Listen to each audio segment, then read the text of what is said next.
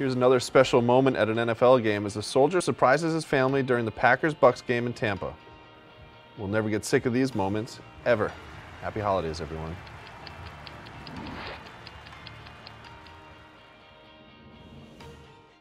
A family whose dad is serving in Afghanistan this Christmas decided to welcome home other soldiers, lucky enough to make it home for the holiday. But the best present of all was making his way down the jetway.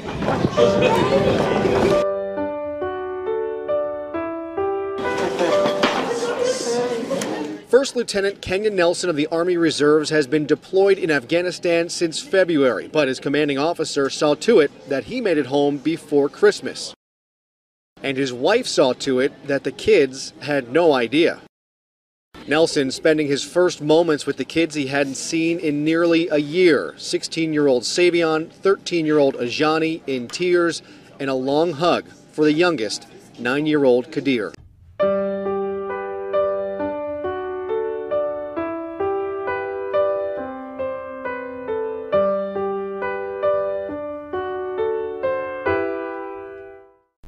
Veronica Velasquez is here to pick up her fifth grader, but today it's a very special surprise. They haven't seen each other in a year since Velasquez was deployed to Afghanistan.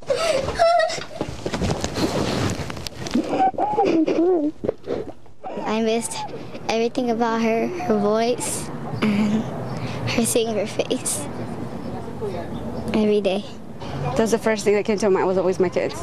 The surprise was planned by Victor Sosa, Velasquez's sister's boyfriend, a college student who's helped take care of Jamie while her mom's been away. Jamie wasn't expecting her mother until next week. It's indescribable. Um, being away from someone you love with all your heart, like a mom. She didn't even see the birth of her grandkid. That's why I wanted to do it so bad for her. I know the sacrifice personally from my family and just seeing the sacrifice from her family and it makes everything worth it. That sacrifice for her country, taking the single mother of three halfway around the world, her kids counting the days to see her again. What are your fears when she's away? Um, that she doesn't get shot or anything. Because I will, I will miss her. Velasquez is back for two weeks, then headed to base in New York. She has another year and a half of military service and then hopes to see her kids grow up, not via Skype, but in person. Yeah, you got taller. Birthdays, holidays, just pretty much I missed everything for a whole year. It's time that I can't really make up, but just spend more time with them. In Pacoima, Rudabeh Shahbazi, ABC 7 Eyewitness News. Smile. I think that will make you smile. Though.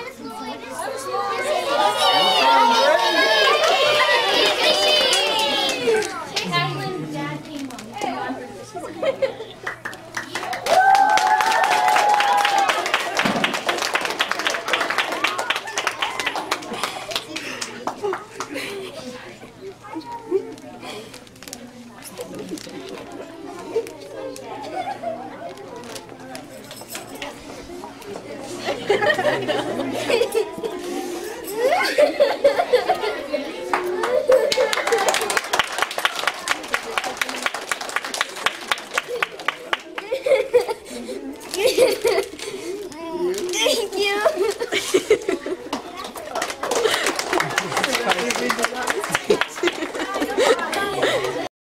Did you hear Emma?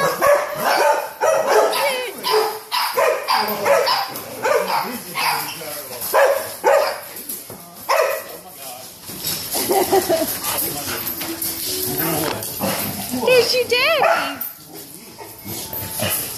Told you I wasn't going to get him. Lou. she, she told him to get back. Mike is so happy. Calm down, Mikey. what? You want nobody over here? Uh-uh. You want nobody over She here? doesn't. Who is that, Stanley? Hey. oh. Emma's like, get out of the way.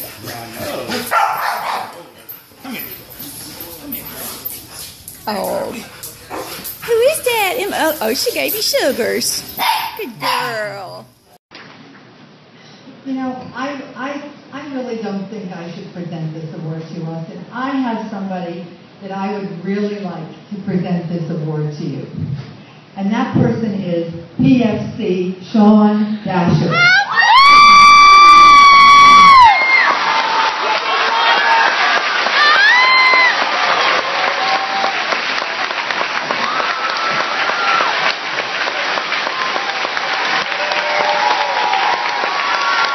You stop.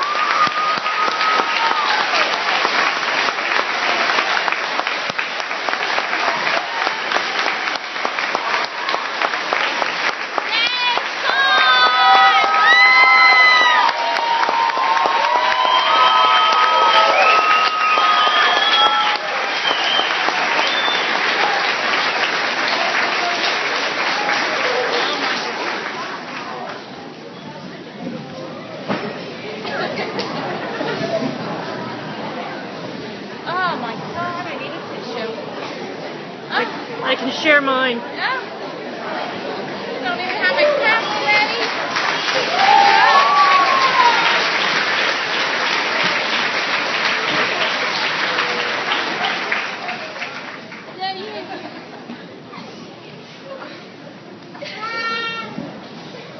We don't know what the award's for. Austin, Austin. Because I do want to say that this award is from the Riverfront Historical Society. And the criteria is local history. And knowing you as I have over the last six months, Well, I can tell you from experience, homecomings at Marine Corps Air Station Yuma are always emotional. But today's military homecoming was especially touching. Your local news reporter Patrick Hayes was there. And Patrick, what made this reunion so very special? Anna, today was a big day for all the Marines now home from Afghanistan. And two of the Devil Dogs were anxious to meet a couple of new additions to their families. Um, it's been interesting. it's been very tasking. Sabrina Willis has been waiting about five months to see her husband, but three month old Marie has been waiting her whole life to meet her dad. Willis told me her husband was able to witness the birth of their daughter via Skype. Yes, lots of pictures and videos. Um, as soon as he gets home, just hang out, I guess you could say. Help him learn the ways of fatherhood. Carrie Marquez shared that same sentiment. Her son Nicholas was born a couple months into her husband's deployment. Once the Marines of Squadron VMA 311, aka the Tomcats, were released from formation, they hurried to find their friends and family. No words. No words. Little Nicholas finally met his father. And Corporal Marquez wasn't the only one at a loss for words. Um, there's really no describing it. It's just a moment of extreme happiness, and I'm just happy to be home with my daughter and my wife, and ready to actually start my family. Reporting for your local news. Awesome. I'm Patrick Hayes.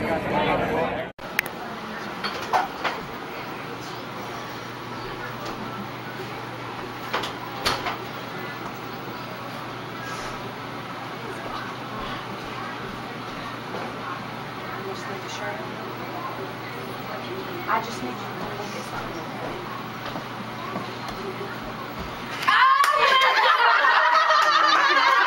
squealing about, Mom. I knew I heard it. Oh, Red, you're a child.